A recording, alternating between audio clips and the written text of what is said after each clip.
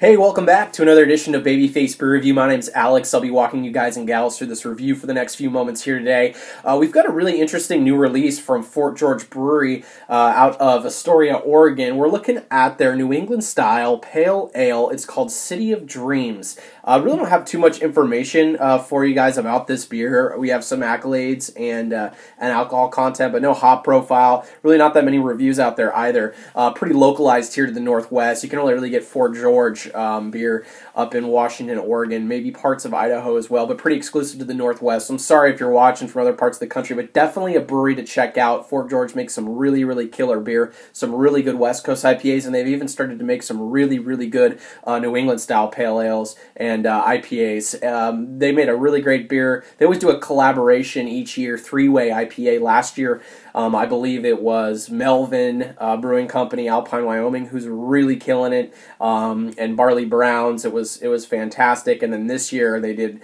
um, an awesome, awesome New England style uh, IPA with uh, Reuben's Brews up here in Seattle, Washington, and Great Notion out of Portland, who are just absolutely killing it in terms of New England style IPAs on the West Coast. They also do some really, really good sours, so definitely check them out. But Fort George Brewing Company, Astoria, Oregon, City of Dreams, clocks in at 5.5% alcohol by volume. I don't have an IBU content. In regards to the accolades of this beer, we're looking at right around 3.8 out of 5, which is in a very good category on Beer Advocate from Untappd, looking at 3.9 2 out of 5 caps. So some very solid stuff. A minus, B plus, B plus range. Uh, really excited about this one with, uh, you know, New England style IPAs, I love them. Um, they're so juicy, they're so smooth and, and just delicate. Um, but I can only drink like one or two of them just because of the sweetness um, that kind of you know accumulates throughout. So I'm excited to see what a pale ale will will look like. I've had a couple of them um, in terms of the style, but but really not too much out there. So excited to to crack the cap on this one and see what we got going on on the uh, City of Dreams from Fort George. This beer is unpasteurized as well. All Fort George beer is, so you always get uh, get them in the fridge, obviously, because they can like re-ferment if they're not pasteurized. Yeah, wow. This is pouring just like three-way IPA from them this year. Uh, really, really juicy, obviously unfiltered beer. Um, about you know finger and a half, beautiful head, very tightly compact, soap sudsy towards the top. No clarity in that glass, kind of pouring like a goldeny straw, uh, yellowish color, mild carbonation streaming off the bottom. I can see some yeast in the bottom of here as well that's kind of accumulated. Probably shouldn't have poured all of that in there because um, you do get some yeast that floats around. But let's get into a smell and aroma on this bad boy and see what it's all about. Yeah, really, really juicy. Wow. I get big, like ripe grapefruit notes. I get citrus zest, citrus peel. I get some pineapple, some peach as well.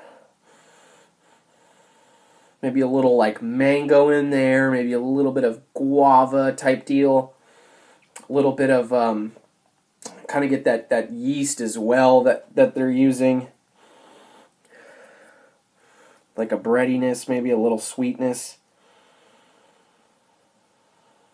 Really juicy, very tropical fruit in there as well. Really nice smelling stuff. I get you know big pineapple, peach, um, grapefruit out of this. Really really nice.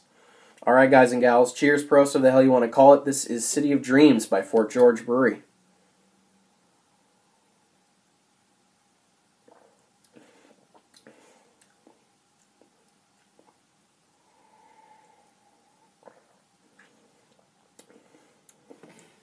Oh, that's wonderful. And I should say, too, this beer is 12 days, uh, 10 days old. 12 1, uh, 17, 10 days old, time of recording. Really nice.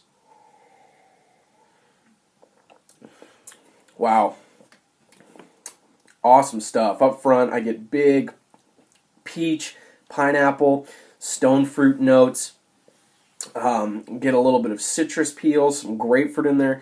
Middle of the mouth, I get some more kind of like uh, bready, almost like crackery like sweetness in there, and then on the back end, really mild bitterness. I would say like you know low 40s for IBUs, somewhere in there. Uh, really kind of drinking like a New England style IPA. Tremendous glass lacing as well. Kind of finish, finishing off more of the the mango and pineapple driving through there, along with some of the peach uh, peach notes as well to that. Really, really nice. I think the mouthfeel is almost my favorite part. It's very delicate, it's soft on the palate, mild prickly carbonation, really adding to the drinkability. I don't really get too much sweetness as I did in the three way IPA, which looks very similar to this beer, to be candid.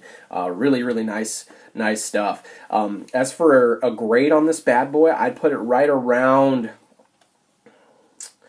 gosh, 92 out of 193. I think it's an A minus beer. I think it's great for a pale ale. I mean, could drink a few of these. I feel like and wouldn't get kind of, um, you know, upset stomach or or whatnot. You know, you drink a lot of the the, the juice the juice bombs, the New England styles hazy ones and i just for for me it kind of irritates me just the residual sweetness um, just how sugary some of them are um, kind of growing up a west coast ipa drinker you know real dry bitter finish um, on, on those on those beers. This, you know, that style kind of contrasting this one, um, but I really like the fruit forward notes. Obviously, this one is really fruity, really juicy, really smooth. So 92 from me is what it's going to be. Uh, but that's not what matters. What matters what you guys and gals think. So you can let me know down below in the comments section what you guys thought of the City of Dreams. Did you love it? Did you hate it? If you've got some beer you want to trade with me, let me know. I can. I'll, I'll get you some Fort George beer or anything in the Northwest here. Got access to great barrel aged beer from Fremont and and others up here. So let me know. Um, until next time, cheers, Prost.